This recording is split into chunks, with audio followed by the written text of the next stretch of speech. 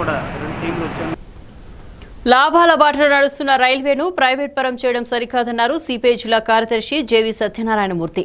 కేంద్ర ప్రభుత్వ నిర్ణయానికి వ్యతిరేకంగా విశాఖ రైల్వే స్టేషన్ ముందు నిరసన కార్యక్రమాన్ని చేపట్టారు. ప్రజల డబ్బుతో నిర్మించిన పట్టాలు రైల్వే స్టేషన్లలో ప్రైవేట్ రైళ్ళ పెత్తనం ఎందుకని ఆయన ప్రశ్నించారు. కేంద్ర ప్రభుత్వం నిధుల సమీకరణలో భాగంగా అని చెబుతున్న ప్రైవేట్ పెట్టుబడిదారులు బ్యాంకుల నుండి సొమ్ము తీసుకువస్తున్నారని గుర్తు చేశారు.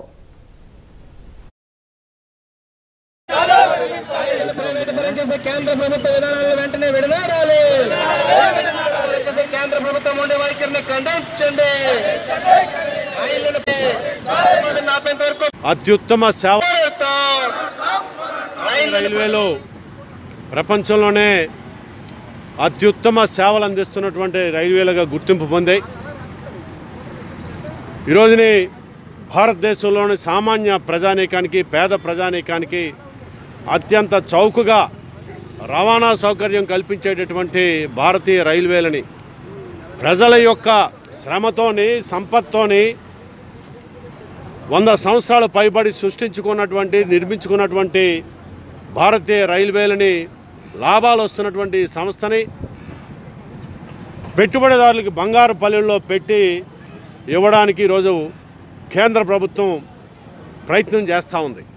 ఆ నేపథ్యంలోనే నూట యాభై ఒక్క రైళ్ళని ప్రైవేటు వాళ్ళకు అప్పజెప్పాలని చెప్పని రెండు వేల పదిహేనులో వేసినటువంటి కమిటీ ఇచ్చినటువంటి నివేదికని అమలు చేసేటటువంటి క్రమంలోనే ప్రారంభించారు. నూట తొమ్మిది రూట్లలోని నూట యాభై ఒక్క రైళ్ళు. ఈ నేపథ్యంలో ప్రజలకి మరింత మెరుగైనటువంటి సౌకర్యం కల్పించాలని చెప్పని ఒక పక్క డిమాండ్ చేస్తూ ఉంటే లక్షన్నర కోట్ల రూపాయలు లక్షన్నర కోట్ల రూపాయలు అవసరం ఉంటుంది రైల్వేలు మెరుగుపరచడానికి అంత డబ్బులు ప్రభుత్వం దగ్గర లేవు. కాబట్టి ప్రైవేటు పరం చేస్తే వాళ్ళు పెట్టుబడులు పెడతారు. మరింత మెరుగైనటువంటి పోటీలోని మెరుగైన సౌకర్యాలు వినియోగదారులకు అంతాయి ప్రయాణికులకు అంతాయని అని చెప్పని చెప్తా ఉన్నారు. ఈరోజు ప్రైవేట్ తూర్పుగోదావరి